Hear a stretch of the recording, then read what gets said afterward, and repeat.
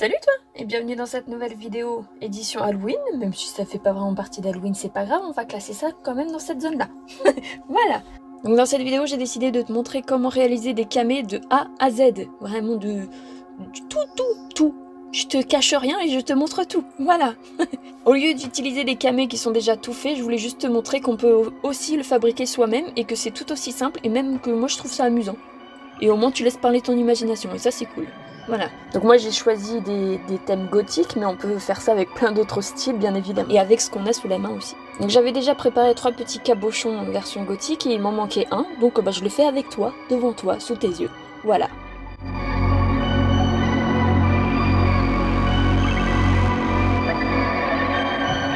Alors je mets tout simplement du perlex au fond de mon moule et après je mets de la résine à l'intérieur que je vais colorer en noir et pour ça j'utilise de l'empinata plus du perlex pour que ça soit vraiment vraiment très opaque. Je veux vraiment un noir intense. Mais bien sûr après on choisit les couleurs de notre choix.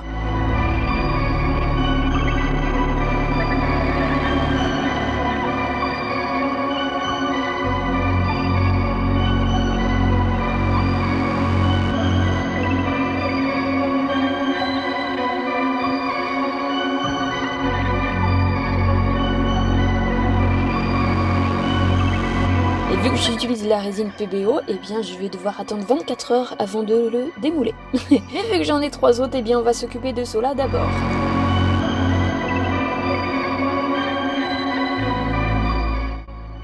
Et donc on commence tout de suite avec le premier modèle, le premier exemple que je vais te présenter. Et il est vraiment très très simple parce qu'il suffit tout simplement d'utiliser une plaque de texture. Avant toute chose, il faut que tu découpes la forme de ton choix, ou pas.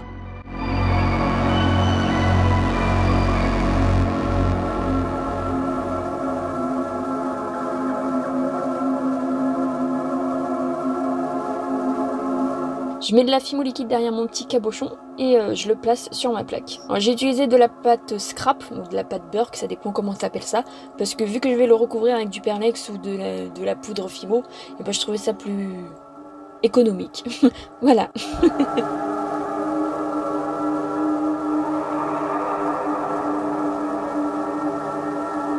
Pour rajouter un petit peu plus de détails, eh bien, je vais rajouter un liseré tout autour de mon, support camé en faisant un, un.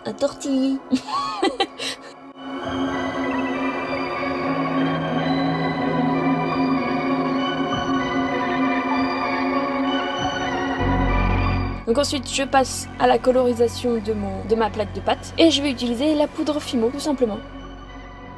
Alors je trouvais que ça manquait de détails donc j'ai décidé de rajouter un petit liseré tout autour de mon cabochon. Donc pour ça je mets de la fimo liquide avant pour que ça tienne bien, pour que ça accroche. Je mets mon petit boudin tout autour et j'ai décidé de rajouter des petits stries, ouais on va dire ça comme ça tout autour. Et j'oublie pas de rajouter ma poudre fimo par-dessus. Je l'ai oublié de le montrer à la vidéo mais faut bien évidemment faire le recto verso, sinon c'est pas drôle, ça va faire moche derrière.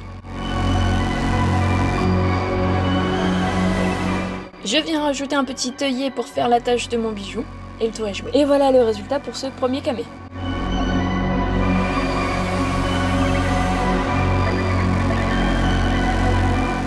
Passe au deuxième qui a été plus long que les autres, mais que j'aime beaucoup. J'aime beaucoup le résultat.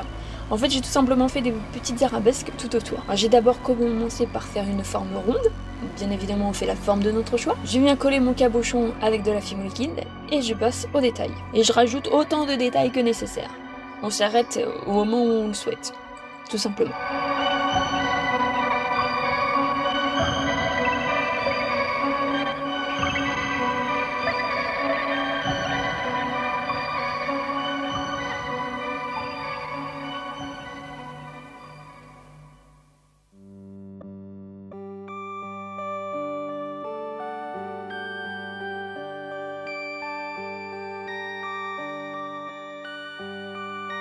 Perfect.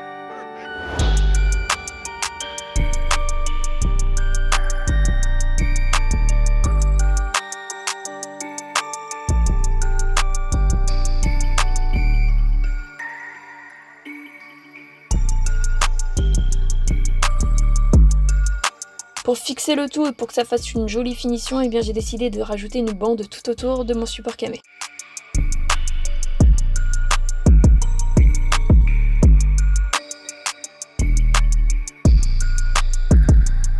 Pareil que précédemment, je viens faire un petit trou avec un œillet pour pouvoir accrocher de la chaîne, mon cordon pour plus tard. Et je viens coloriser tout ça avec du perlex noir charbon, sans oublier de faire le verso ou le recto. Attends, je confonds toujours les deux. Enfin bref, t'as compris ce que je voulais dire. Et voilà ce qu'on obtient pour le deuxième support camé.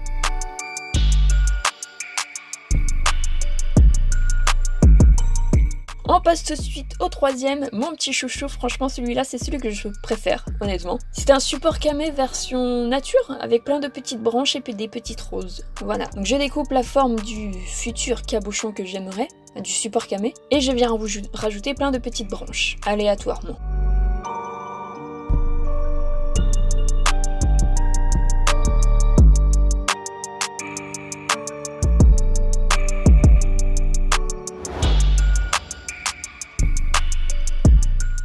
Je viens évider les creux pour que ça fasse euh, quelque chose de sympathique, ou pas. en tout cas, moi j'aime bien. ça, ça me fait des petits creux dans mon support camé. Je laisse un creux en haut de la branche pour pouvoir passer après un cordon ou un fil, enfin ce qu'on veut, ce qu'on veut, voilà, tout simplement.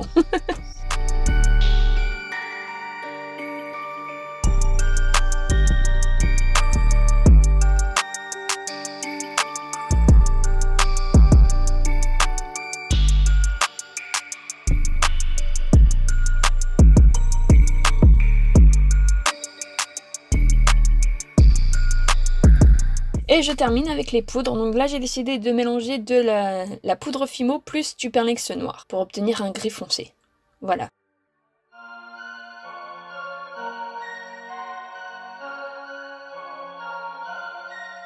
Et donc voilà le résultat pour ce troisième support camé.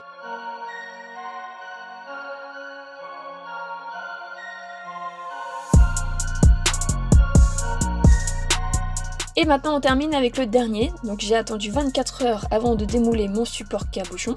Enfin non, mon petit cabochon plutôt, voilà. Donc voilà le résultat, voilà ce que ça donne.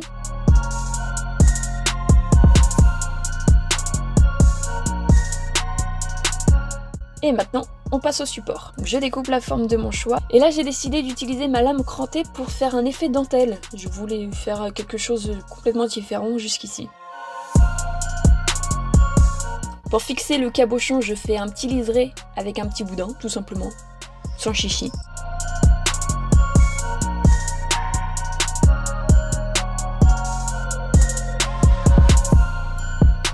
Et comme je l'ai dit, je fais un effet dentelle, donc pour ça je fais plein de petits trous et je rajoute encore et encore jusqu'à ce que ça me convienne. Et pareil que précédemment, je rajoute un petit œillet pour pouvoir passer une chaîne plus tard. Et voilà.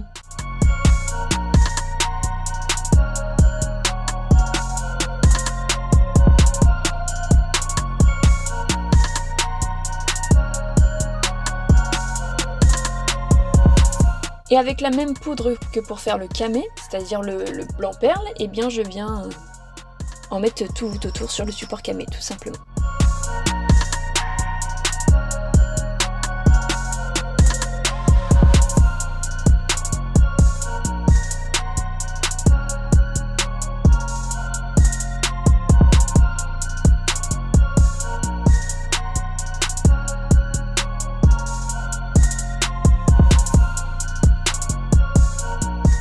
Et donc voilà le résultat pour mes trois petits camés version gothique, qu'on peut détourner encore de plein d'autres façons différentes, il suffit simplement de laisser parler son imagination. Mais dans tous les cas, j'espère quand même que cette vidéo, qui est quand même assez longue, excusez-moi, mais bon, ça faisait beaucoup de boulot, l'air de rien, mais j'espère que ça t'aura plu. N'hésite pas à me dire tout, ce qui te passera par la tête, j'y répondrai avec le plus grand des plaisirs, même si je suis un petit peu longue à la détente, je finis quand même par le faire. et en attendant, eh bien, je te fais tout plein de gros poutous, et je te retrouve très très vite dans une prochaine vidéo. Bye bye